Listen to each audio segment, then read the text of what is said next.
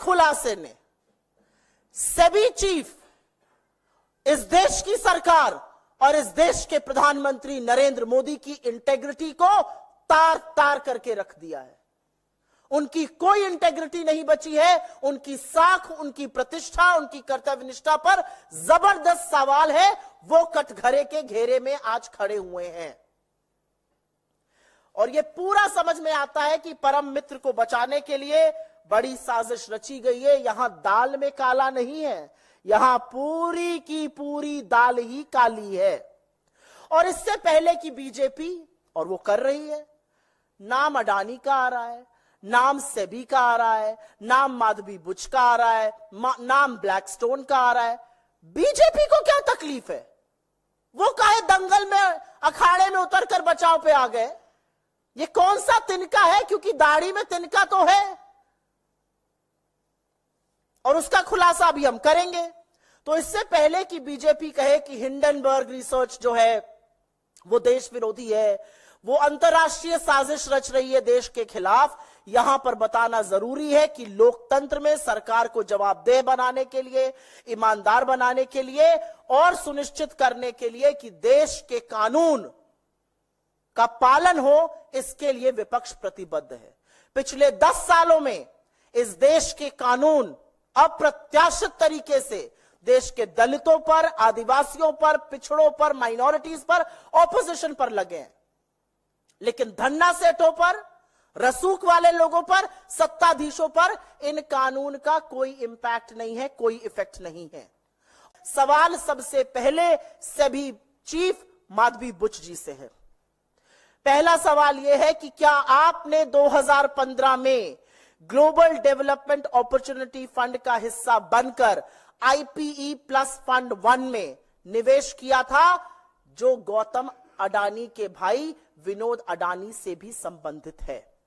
दूसरा सवाल, जब आप सेबी की पूर्णकालिक सदस्य थी तो क्या आपने आईपीई प्लस में अपने निवेश को, अपनी शेयर होल्डिंग को सेबी के सामने उसका खुलासा किया था, उसका डिस्क्लोजर किया था या नहीं किया था? क्या आप यह बता पाएँगी कि अडानी एंटरप्राइजेस और उनके पूर्व निर्देशक Anil Ahuja IPE plus fund से किस तरह से संबंधित थे? उन्होंने आईआईएफएल के साथ इस फंड की स्थापना कैसे की थी? क्या आप यह बता पाएँगी कि जब आप सेबी की पूर्णकालिक निदेशक थी तो क्या आपने सिंगापुर में एगोरा पार्टनर्स या भारत में एगोरा पार्टनर्स में हिस्सेदारी, शेयर आपके थे या नहीं थे? क्या आपने इसका डिस्क्लोजर सेबी को किया था? क्या आपने इस शेयर होल्डिंग के माध्यम से पैसा कमाया है? क्या आपकी रेवेन्यू स्ट्रीम आई है? किन संस्थाओं ने इस कंसल्टिंग फॉर्म एगोरा को बिज़नेस दिया? क्या आप ये बता सकती हैं? क्योंकि एक वक्त में आपके पास पूरा पूरा इसका स्वामित्व था रिपोर्ट के अनुसार। क्या आपने 2022 में एगोरा में अपना स्वामित्व, अपनी शेयर होल्डिंग अपने पति को ट्रांसफ़र की थी, जैसा कि यह रिपोर्ट कह रही है? वो कौन सी संस्थाएँ हैं जो आज भी एगोरा को कंसल्टिंग फॉर्म कंसल्टिंग का बिज़नेस दे रही हैं? वो भारत की कौन सी कंपनीज़ है? क्योंकि सेबी चीफ रहते हुए ये डिस्क्लोजर करना भी ज़रूरी है। क्या आपने सेबी को सूचित किया था कि आपके पत्नी ब्लैक, पति ब्लैकस्टोन से अब संबंधित है, जो रीट्स में एक बहुत बड़ा खिलाड़ी है? आपने या सेबी के किसी समूह ने या सेबी की किसी मीटिंग ने ब्लैकस्टोन से अकेले अडानी ग्रुप से अकेले या किसी ऐसी कंपनीज़ के साथ मीटिंग की है जिनका ब्लैकस्टोन और अडानी से लेना देना है। सुप्रीम कोर्ट को सेबी ने कहा, हमारे हाथ कुछ नहीं लगा। वी ड्रू अ ब्लैंक क्या आपने कोर्ट द्वारा स्थापित समिति और इस देश के सर्वोच्च कोर्ट को यह बताया था कि जिन फंडों की जाँच आपको सौंपी गई है।